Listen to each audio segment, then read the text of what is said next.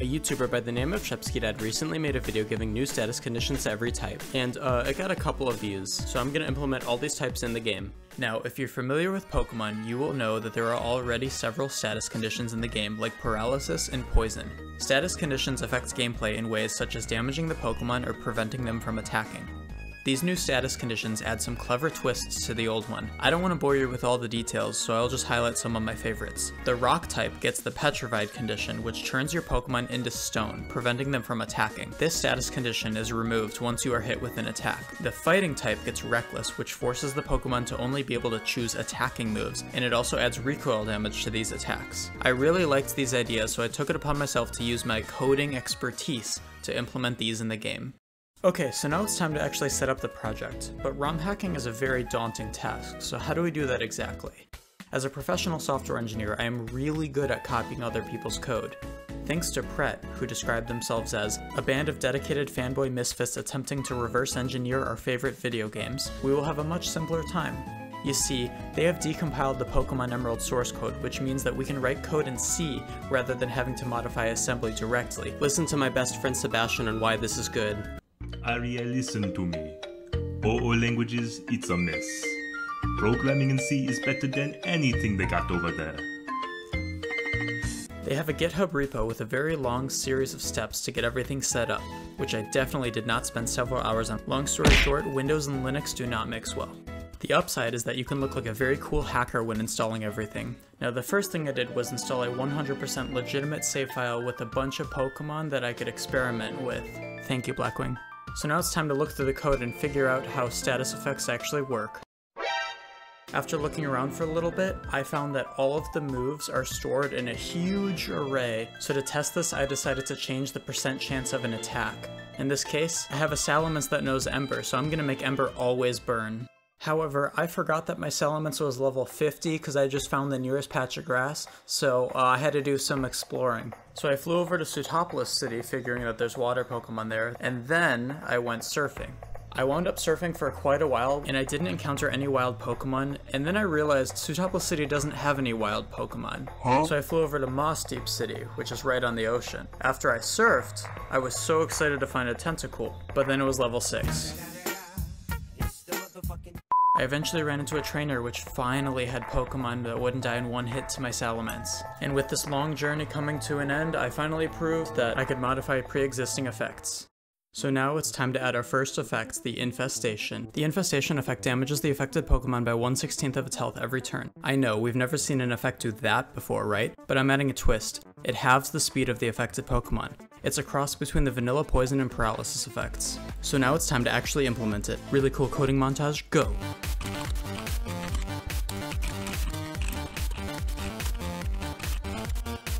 Freeze the game. So how do I add a status effect to the game? In the simplest possible terms, the way you add a new status condition to the game is adding the infestation effect to the list of battle effects, setting the effect of the attack scratch to this infestation effect, add the infestation effect you just created to the list of move effects, make the move effect infestation have a status effect which causes the status condition infestation, then you have to do a bunch of random stuff to register the new status. Oh yeah, and remember how I said we were exclusively going to be programming in C and avoiding assembly? Well, that was a lie. So now that you have an overview of what we have to do, now it's time to fix the game freezing. This is where debug statements come into play. The very important debug statement, your mother, is actually what solved the error. See, there was a memory overflow error due to something being too large. Removing your mother from the code fixed that. The keen-eyed among you will have noticed that I actually checked for infestation. This is critical as now I'm able to start implementing the actual effects of infestation. The end turn damage will be easy as I found this do battle or end turn effects method. So all you have to do is add an end turn custom effect, as you can see into this enum, and then as long as it's less than or equal to the end turn battler count count, you should be fine, right? So it wasn't even detecting the infestation. I had to put it before the battle count. So now it's time to test it out. I made the scratch attack always give the infestation effect. It uses the poison visual indicator, but the important thing is up here. Look, the health bar decreases. The next step is making a very beautiful animation. I'm gonna um, borrow from already existing animations. The result looks something like this. To accomplish this, I did have to use scripting with assembly-like syntax. Now it's time for your favorite red arrow, look! I also figured out how to list this on the health bar. I'm not gonna get into the nitty gritty and how I did this. Let's just say it caused some errors. By now you've had enough of the infestation effect. And I have some good news. We're done. It's time for more code. So remember how complicated it was just to add a single status effect? It's a 14 step process. I made a Google Doc. Well now I'm just adding all of them at once. So theoretically it should be easier to add the rest of them. To make time fly, throw your clock out the window. In other words, I'm trying to say it's time for the next status condition. The piercing condition damages by 1 16th each turn and halves your defense. Since I set up the boilerplate, this should be easy. Again, I'm using Scratch to give the status. Oh my god, what the fuck is that? It looks like it's something from the Shadow Realm. After some off-camera mining, I did it. It uses the Metal Claw animation. Wow, look, it's the same status effect as before, except now it's under a different name and animation. I know, I know, but stick with me because the next ones are pretty cool. There is one important thing that I added. The party screen displays the list of status conditions, so I also must display this. I had a lot of trouble getting this one in. I mean, look at those debug statements. Basically, every status condition is three 8x8 tiles in memory. And it's really stupid, but you have to create these animation frames for every one of these tiles, even though they're completely static images. After all those shenanigans, I finally got it working. Did you miss this guy? I certainly did. The rest of these status conditions are going to be pretty quick. The null status negates all type interaction, just like how my life has left me feeling. I found this type calc function, and if you know something about Pokemon, the struggle move doesn't have any type interactions, so I'm just gonna add my effect right over there. And uh, remember that cursed image from before? Yeah, I figured it was perfect for the null effect, so there it is. To prove to you it worked, I tested it on an Aron. Aron is a rock steel type, which four times resists the normal type tackle, but in this case it was nulled, so it took neutral damage. Alright, next effect, go. Not this again. It forces Pokemon to choose damaging moves and then damage themselves. You can read, okay? Here's the animation. I copied from the Focus Energy move, which is very fitting for this effect. And the status effect has the correct graphic. So now here's an example of Poochyena taking recoil damage. And for the love of god, don't ask how I did this. It involves assembly.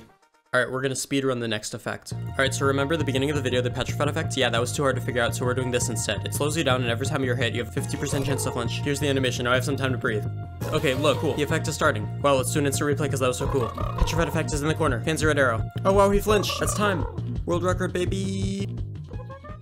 Vegetarians get excited. It's time for your effect. Rooted prevents the opponent from switching out Pokemon J HGFF, not a typo. So there's multiple things we need to do. First, we need to make it so you cannot run from battle. Then we need to make it so you can't switch out a Mon that is rooted. Finally, and very importantly, you can't switch into a rooted Mon. My first attempt didn't go quite as expected. As you can see, Pidge's Keen Eye Fear Wild Poochyena, what the heck is that? But eventually I figured it out. Look, now you can't escape. You think these sound effects are annoying? Watch this. That's what I constantly hear when developing this for your entertainment. Then I got the switching stuff done. Listen to this noise. See, it works! Oh, and I guess the final thing you need to see is the animation. Look, pretty cool. The only thing worse than being blind is having sight but no vision. Helen Keller. What do you think our next effect will be? You guessed it, blindness. Blindness decreases your accuracy and prevents you from seeing the enemy sprite. I thought the null animation was very fitting, so I used the same one. The other key thing to take in here is that when you attack, you can't see how much you damage the enemy by.